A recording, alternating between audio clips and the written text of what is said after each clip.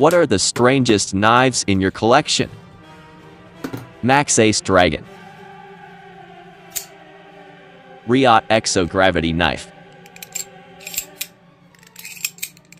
PMP Alpha Beast. Microtech Combat Troodon Hellhound. Hinderer XM 18 3.5 inch. Factory Authentic Glow Scale Terrain 365 Invictus Terra Terravantium Blade.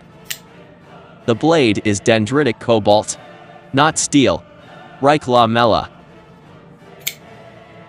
Raten Evo 3.0 Polished Black DLC Winter Blade Co-Factor Magnetic Lock. ProTech Godfather, Blue Sapphire PVD. And finally, the Midgard's Messer Viking, aka Tiny Combat Shovel.